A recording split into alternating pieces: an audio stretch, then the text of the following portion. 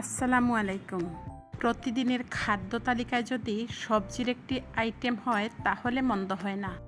তো আজকে আমি তিন ধরনের সবজি দিয়ে এই ভেজিটেবলটি তৈরি করেছি। খুবই হেলদি এবং অল্প মশলায় এই সবজিটি তৈরি করেছি। আর এটি দেখতে যতটা সুন্দর হয়েছে, খেতেও মাসাল্লাহ খুবই মজা হয়েছে। তো আমার ভিউয়ার্সদের কাছে ছোট্ট একটি রিকোয়েস্ট থাকবে, অবশ্যই রেসিপিতে লাইক দিয়ে দেখা শুরু করবেন। আর আপনাদের এক একটি লাইক আমার এই রেসিপিটা অনেকের কাছে পৌঁছে দিতে পারে। তাহলে চলুন কথা না বাড়িয়ে শুরু করা যাক।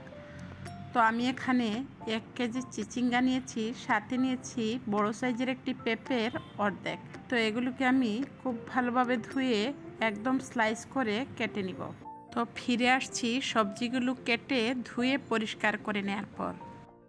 তো দেখুন, আমি চিচিঙ্গা এবং পেঁপেটাকে স্লাইস করে কেটে নিয়েছি। সাথে আমি প্রায় তিন টেবিল চামচের মতো কিউব করে কেটে রাখা ফ্রোজেন পদ্ধতির গাজর এখানে ব্যবহার করব।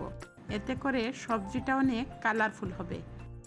তো সবজিটা রান্না করার জন্য আমি একটি ফ্রাইং প্যান বসিয়ে দিলাম এবং এতে অ্যাড করে দিচ্ছি হাফ কাপের মতো তেল।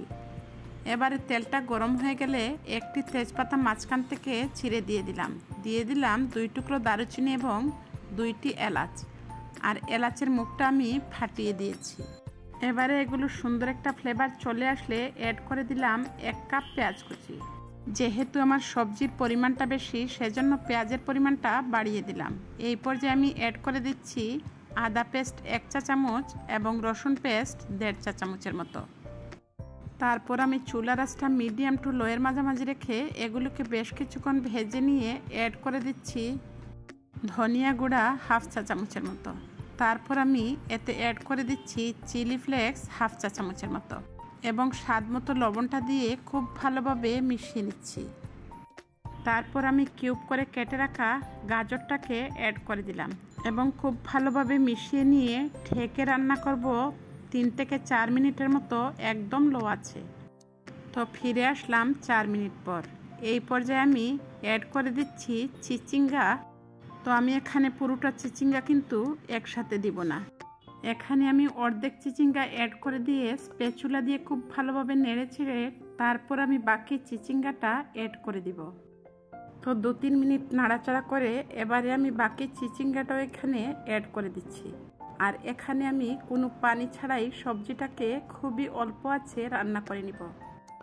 আর সবজির ভেতরে থাকা পানি থেকে কিন্তু সবজিটা সেদ্ধ হয়ে যাবে।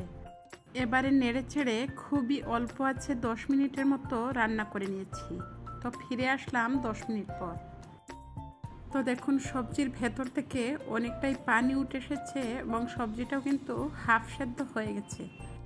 আমি স্পেচুলা দিয়ে নেড়ে চেড়ে উপর নিচ করে দিচ্ছি, যাতে সবজির ভেতরে খুব ভালোভাবে মশলা ঢোকার পাশাপাশি সবজিটা কুকড হয়ে যায়। এই পর্যায়ে আমি কেটে রাখা পেঁপেটাকে অ্যাড করে দিলাম। তারপর স্পেচুলা দিয়ে নেড়ে ছেড়ে চিচিঙ্গার সাথে মিশিয়ে নিচ্ছি। তো আমি এখানে কিন্তু খুবই অল্প মশলায় এই সবজিটাকে রান্না করে নিচ্ছি। আর আপনারা অবশ্যই এইভাবে ট্রাই করে দেখবেন, খেতে কিন্তু ভীষণ মজা হয়। তো নেড়ে ছেড়ে আবারও ঢেকে রান্না করেছিলাম দশ মিনিটের মতো। তো দশ মিনিট পর ঢাকনাটা সরিয়ে আমি খুব ভালোভাবে নেড়ে ছেড়ে মিশিয়ে নিচ্ছি যাতে তলানিতে ধরে না যায়। এই পর্যায়ে আমি কিছু কাঁচামরিচ অ্যাড করে দিচ্ছি। আর কাঁচামরিচটাকে আমি হালকা চিড়ে দিয়েছি। এই পর্যায়ে আমি গোলমরিচ পাউডার দিয়ে দিলাম ওয়ান ফোর চা চামচ, দিয়ে দিচ্ছি ভাজা জিরের গুঁড়ো হাফ চা চামচ। তারপর আবারও খুব ভালোভাবে নেড়ে চেড়ে মিশিয়ে নিচ্ছি। তো আমার সবজিটা কিন্তু অলমোস্ট তৈরি হয়ে গেছে। আপনারা নিশ্চয়ই কালারটা দেখে বুঝতে পারছেন। তো আমি এক মিনিটের মতো ঢাকা দিয়ে আবারও ঢাকনাটা সরিয়ে সবশেষে অ্যাড করে দিচ্ছি ধনে পাতা কুচি প্রায় তিন থেকে চার টেবিল চামচের মতো। আর এই ধনে পাতার ফ্লেভার কিন্তু এই সবজির টেস্টটা বহুগুণে বাড়িয়ে দেয়। তো আমি হালকা একটু নেড়ে চেড়ে আবারও এক মিনিটের মতো স্লো আছে রান্না করে নিব। তারপর কিন্তু আমার মজাদার সবজিটা তৈরি হয়ে যাবে। তো দেখুন, ফিরে আসলাম এক মিনিট পর। তো আমি চুলাটা কিন্তু বন্ধ করে দিয়েছি, এবারে নামিয়ে পরিবেশন করে নেওয়ার পালা। তো আমি একটি সার্ভিং বলে সার্ভ করে নিচ্ছি। ধোয়া ওটা গরম গরম এই লোভনীয় চিচিঙ্গা এবং পেঁপের এই সবজি দিয়ে আপনারা চাইলে পোলাও, রুটি, লুচি এবং সাদা ভাতের সাথে অনায়াসে খেতে পারবেন।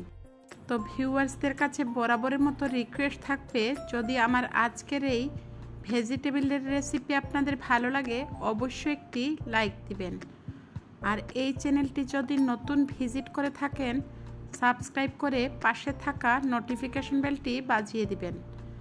যদি রেসিপিটি ফেসবুক পেজ থেকে দেখে থাকেন পেজটাকে ফলো করার অনুরোধ রইল। নেক্সট এপিসোড নিয়ে আবারও আপনাদের সামনে হাজির হয়ে যাব। ততক্ষণ পর্যন্ত আপনাদের সবার সুস্থতা এবং মঙ্গল কামনায় আজকের মতো বিদায় নিচ্ছি। সবাই ভালো থাকবেন, সুস্থ থাকবেন। আল্লাহ হাফেজ। আসসালামু আলাইকুম।